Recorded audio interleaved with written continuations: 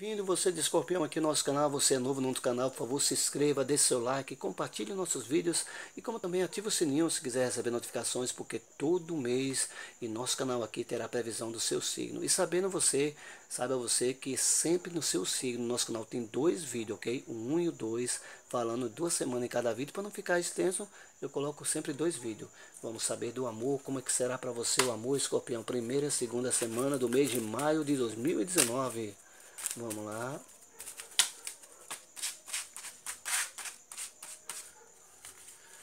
Primeira, segunda. Saiu a carta da âncora e a carta dos caminhos. Então a primeira semana, escorpião, aqui para você saiu a carta da âncora, a primeira semana de maio. A carta da âncora fala de equilíbrio, de firmeza, solidez. Então você está pensando naquele momento de entrar numa relação realmente a sério, ok? Você pensando aí, direcionando a sua vida a dois, né? Você que está comprometido aí, de repente firmar o seu casamento, noivado, pensando no seu futuro a dois, ok? E o caminho aqui justamente fala isso. O caminho ele fala de muitas oportunidades, né? E cabe você escolher a melhor escolha. No caso, quando é para a gente construir o nosso ser. Então, justamente aqui, casando as duas cartas, que você pensando muito em firmar sua relação e pensando no futuro a dois aí, né? Quando vir casamento, noivado aí, ok? Vamos saber então como é que será trabalho e finanças para você nessa primeira e segunda semana do mês de maio de 2019 aí, escorpião. Primeira, segunda. Saiu a carta aqui do cachorro e a carta aqui dos pássaros.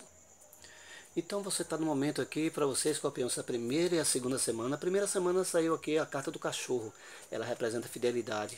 Então é um momento, um trabalho que você está sentindo assim, bastante rodeado de pessoas legais, companheiras, amigas. E aqui na segunda semana falando justamente também um, um elo de ligação aqui, né? Porque a carta dos pássaros representa assim, uma semana que você está muito comunicativo e também rodeado de pessoas aí excelentes, aí, pessoas companheiras. Aqui também no sentido, você que está desempregado, né? A fidelidade, um amigo, um companheiro seu pode trazer uma boa notícia para você também, escorpião. Nessa primeira e na segunda pode esperar uma notícia boa aí de emprego para você, ok? Vamos saber agora como será a saúde para você, escorpião, nessa primeira e a segunda semana do mês de maio de 2019. Vamos lá. Primeira, segunda. Saiu a carta aqui da raposa e a carta da cruz. Na primeira semana aqui na saúde, escorpião, aqui saiu a carta da raposa. É uma carta de alerta. Ela fala assim, cuidado com energia à sua volta. Então, pessoas que estão querendo baixar um pouco sua energia espiritual. Mas no sentido é o seguinte, você vai estar tão forte, ok? Tão forte que isso aí você vai tirar de letra. E aqui na segunda semana saiu a carta da cruz. A carta excelente, ela fala de vitória, sucesso. Então é um momento que você está radiando muita alegria, você está bastante disposto, então a sua energia está tão radiada que apesar dos alertas aqui para você e pessoas ao redor não vão te afetar.